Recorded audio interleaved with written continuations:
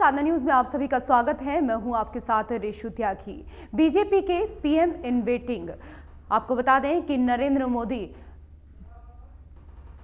भले ही ये कहते हुए नहीं थकते हैं कि गुजरात में जो विकास हुआ है, वो शायद पूरे देश में नहीं हुआ है। और तो और ये भी कहते नहीं थकते कि गुजरात में यूपी और बिहार के लोगों को भी रोज़गार दिया जाता है। लेकिन बिहार में, गुजरात में रहने वालों का क्या हाल है, इस पर नीतीश कुमार शायद नहीं सोचते हैं। तभी तो 300 परिवार 2 जून की रोटी तक के लिए मोहताज दिखाई दे रहे हैं। इसी पर है हमारा ये खास कार्यक्रम पटना में गुजराती। तो चलिए कार्यक्रम की करते हैं शुरुआत।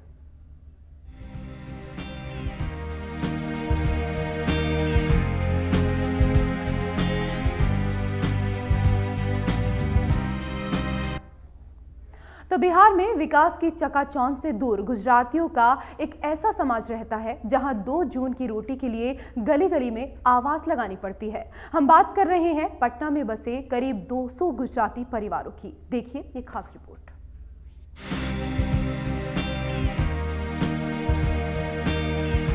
साड़ी ले लो।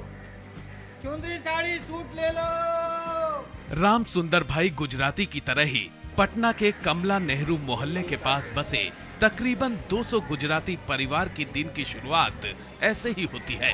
मुफलिसी के अंधेरे में जीने वाले इस समाज की पहचान यूँ तो पूरे देश में अमीरी के तौर पर होती है, लेकिन यहाँ का सच दूसरा है। फटिहाली में जीने को मजबूर लोग फटे कपड़े के बदले कुछ नए कपड़े देते हैं और कहते हैं कि हम व्यापार कर रहे हैं।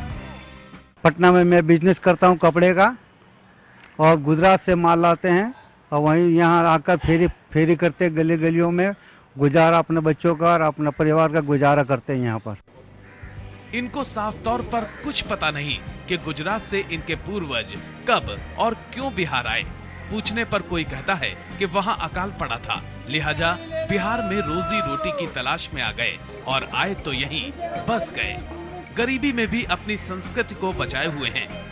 नवरात्र का गरबा हो या फिर कृष्णाष्टमी का त्योहार, यहाँ गुजरात जाग उठता है। पिछले 50 साल से ये लोग यहाँ पर रह रहे हैं। चुनाव की चर्चा करने पर नरेंद्र मोदी के नाम के साथ खुश होते हैं, लेकिन दर्द पुराना है।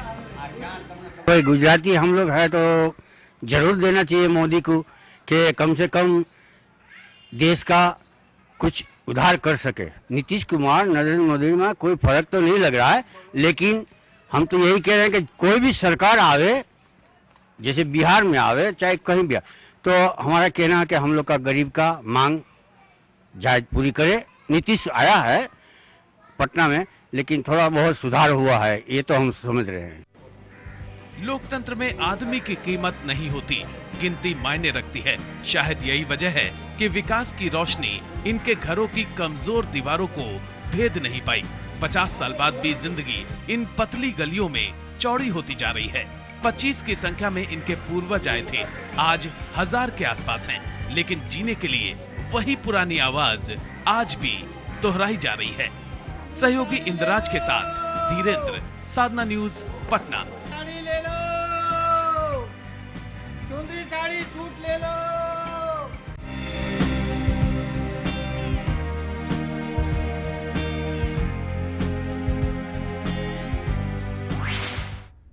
तो पटना में तकरीबन हज़ारों की संख्या में फटेहाल में गुजराती रह रहे हैं। यहाँ आज़ादी के इतने साल बीत जाने के बाद भी विकास की बात बेमानी सी लगती है। ये लोग इन तंग गलियों में जीने के लिए मजबूर हैं और इसी का जायजा लिया हमारे संवाददाता धीरेन्द्र ने। आजकल पूरे देश में गुजरात के विकास मॉडल की चर्चा हो रही है। और चर्चा क्या हो रही है? यकीन मानिए, इसी नाम पर राजनीति हो रही है।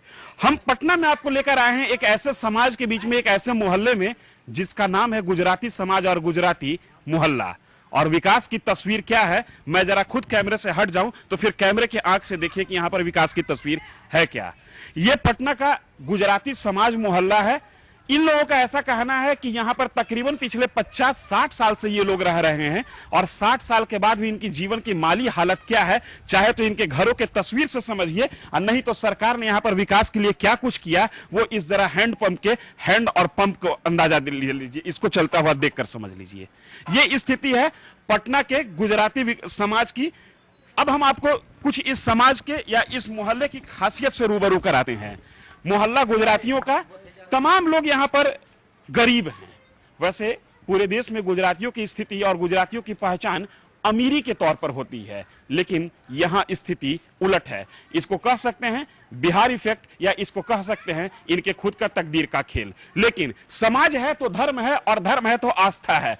ये जो मंदिर आप देख रहे हैं, यहाँ पर राम सुंदर भाई गुजराती का कहना है कि इस मंदिर की नींव उनके नाना ने रखी थी और मंदिर के पीछे जो पेड़ आपको दिखाई दे रहा है, इस पेड़ को भी इनके नाना ने ही लगाया था। पेड़ लगाया, इस बात को इस लाइन से समझा जा सकता है कि अगर पेड़ लगाने की कल्पना की गई तो ज़िंदगी जीने की कल्पना की गई और ज़िंदगी किस तरीके से जी जा रही है। जरा आप इन गलियों, सकरी गलियों में देखिए कि कैसा ये मोहल्ला बसा है और कितने विकास की रोशनी यहाँ पर पहुँची है। ये गुजरातियों का मोहल्ला पटना, वार्ड नंबर 28 आज ये मोहल्ला इसलिए चर्चा में आ गया क्योंकि राष्ट्रीय स्तर पर गुजरात के मॉडल पर चर्चा हो रही है, गुजरात के मॉडल पर वोट मांगा जा रहा है। कोई कहता है कि गुजरात का मॉडल ही देश को विकास के रास्ते पर आगे ले जाएगा, और कोई कहता है कि गुजरात का मॉडल जनाब चलेगा नहीं, चलेगा तो बिहार का मॉडल चलेगा, लेकिन बिहार में गुजरात का मॉडल है क्या? जरा इसको इन गलियों से समझिए। सकरी गली और सकरी गली में रेंगती ज़िंदगी। ये हकीकत है, यहाँ पटना के गुजराती समाज मोहल्ले का ये लोग फेरी करके काम करते हैं, फेरी करके जीवन यापन करते हैं। किस तरीके से ज़िंदगी चलती है, ये बहुत कुछ कहने की ज़रूरत नहीं। जो भी तस्वीर हमने आपको दिखाई है, उन तस्वीरों से स्पष्ट होता है कि आखिर बिहार में गुजराती आकर बसे और बसने के बाद ज़िंदगी जीनी शुरू की तो ज़िंदगी की स्थिति दिखी कैसी? ये हालात है, पटना स्थित गुजराती समाज मोहल्ले का तकरीबन 200 घर, तकरीबन 1000 की आबादी और तकरीबन 500 से 600 मतदाता। ये कहना गलत होगा कि यहाँ पर बिहार सरकार या स्थानीय प्रशासन पहुँचा नहीं। यहाँ पर स्थानीय प्रशासन पहुँचा है, इसकी तस्दीक करती वो चापाकल की तस्वीर है। लेकिन किस रूप में पहुँचा है, चापाकल का हैंडल जब चलाते हैं, तब समझ में आ जाता है। कैमरा पर्सन अशोक के साथ धीरेन्द्र, साधना न्यूज़, पटना। बिल्कुल तो नरेंद्र मोदी हर जगह गुजरात मॉडल की बात करते हैं, विकास की बात करते हैं, लेकिन अगर बिहार आ जाएँगे, बिहार में गुजरात के लोगों की स्थिति को देखेंगे तो ये स्थिति बिल्कुल उलट है और इसी का जायजा लेने के लिए पहुँचे थे हमारे सहयोगी धीरेन्द्र। उन्होंने दिखाया कि किस तरह से तस्वीरें दिखाई कि जो एक हैंडपम्प लगा हुआ है पूरे इलाके में, वो भी चलता नहीं है, गर्मी के दिन है, पानी है नहीं तो लोग कैसे अपना, अपनी जो प्यास है उसको बुझाएँगे? अगर आपको कहा जाए कि बिहार के पटना में गुजरात गुजरातियों का एक ऐसा समाज रहता है जहाँ के लोग बदतर हाल में जीने के लिए मजबूर हैं। शहर के बीचों बीच बसा ये इलाका विकास की रोशनी से कोसों दूर है। शायद आपको विश्वास ना आए, लेकिन ये ही सच है और ये सच हम आपको दिखा रहे हैं। ये तंग गलियाँ पटना के लुटियंस जोन से महज 500 मीटर की दूरी पर हैं। इन गलियों में गुजरात बसता है। काम फेरी करना पुराना कपड़ा खरीद नया बेचना। नया पुराना के बीच इनकी ज़िंदगी को इनके इन घरों के कमज़ोर दीवारों के साथ जोड़कर समझा जा सकता है। इनके जीने की शैली फटेहाली को समझने के लिए हम इनके घर के अंदर पहुँचे। गौरी बेन पहले गुजराती में बोलती हैं, फिर हिंदी में। लेकिन जब बोलती हैं तो गरीबी साफ़ सुनाई देती है। हम बिहार में पुराना कपड़े बर्तन बेचते हैं स्टील का। चुंदरी साड़ी चादर बेडशीट वो सब पर्दा वो सब बेचते हैं हम लोग। हस्बैंड वाइफ दोनों मिलकर काम करते दोनों अपने अलग जाते हैं हम अपना अलग करते हैं। कितना कमा लेते हैं आप लोग? हम लोग दो सौ तीन सौ रुपया कमा लेते हैं। पैसा कम होने के बावजूद जीने का सलीका आता है। तिनका तिनका जोड़ के छोटा सा आशियाना बनाया। कुछ सामान भी भर लाए हैं। जब साधना न्यूज़ की टीम इनके हालात को समझने इनके घर पहुँची तो स्वागत में पुरुष महिला सब शामिल हो गए। हम घर से बाहर निकले, एक मंदिर है, सामने चबूतरा, यहीं लोगों का मजमा लगा रहता है। सुनीता बेन अपनी सास के सामने पर्दा किए रहती है। हमने भी इस पर्दा नशी से कुछ सवाल किए। तो आता ना खाली की राशन तेल का? वही उसमें भी अभी काम मिल रहा है राशन। खाली तेल मिलता है कि राशन तेल? अच्छा एक चीज़ बताओ आप सुनीता बेन। आपके बच्चे पढ़ने जाते हैं? बेटी जाती है। बेटा छोटा भी नहीं जाता है। बेटी को कहाँ तक पढ़ाओगी? पढ़ा लेंगे जहाँ तक पढ़ा सकेंगे वहाँ तक। अब हमने इस समाज के सामाजिक ताने बाने को समझना चाहा। आखिर गुजरात से इनका रिश्ता अब भी ज़िंदा है या खत्म हो गया? और शादी?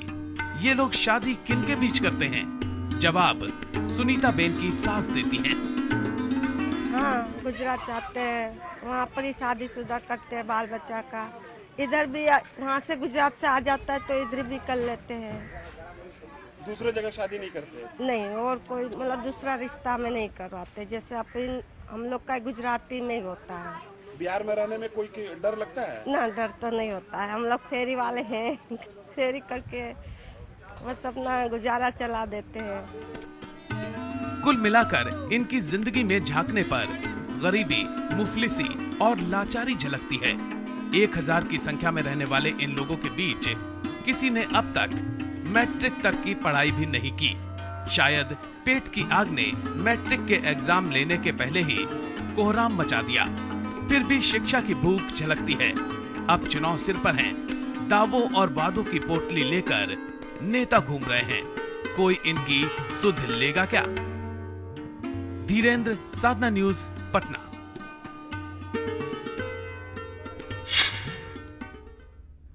तो बिहार में सुशासन की बात, बिहार में विकास की बात, ये करते थकते नहीं हैं मुख्यमंत्री नीतीश कुमार। सहयोगी धीरेन्द्र हैं हमारे साथ, ज़्यादा जानकारी के साथ। धीरेन्द्र, आप गलियों पह- में पहुँचे, किस तरह से तंग गलियों में यहाँ पर रह रहे हैं जो गुजरात के लोग हैं पिछले 50 साल से? आपसे जानना चाहेंगे, सिर्फ़ गुजरात के लोगों की ही ये दुर्दशा है, क्या मुख्यमंत्री नीतीश कुमार ने इस जगह का विकास नहीं किया? क्या कारण माना जाता है? देखिए, शायद इसमें महत्वपूर्ण कारण ये है कि इनकी संख्या इतनी कम है पटना में कि ये किसी भी स्तर पर राजनीति और प्रशासन को प्रभावित करने की स्थिति में नहीं है। लोकतंत्र में संख्या बहुत मायने रखता है। इनका वोट इसका इतना भारी नहीं है कि किसी के तराजू के पलड़े को प्रभावित कर ले ये किनारे पड़े हुए हैं।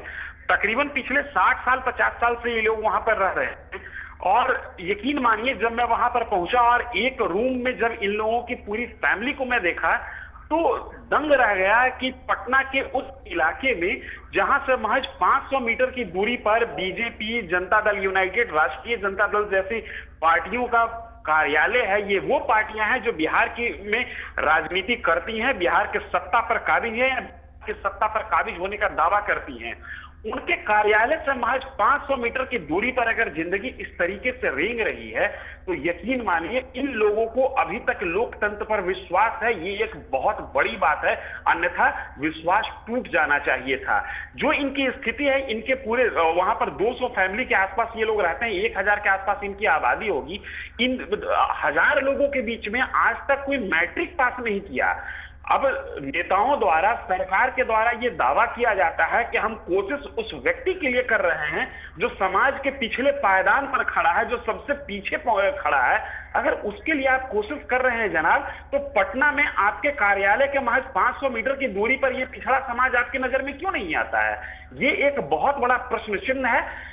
बिहार के शासन पर, बिहार की राजनीति पर और बिहार के उन रहनुमाओं पर जो एक एक वोट के लिए किलोमीटर का फासला तय करते हैं।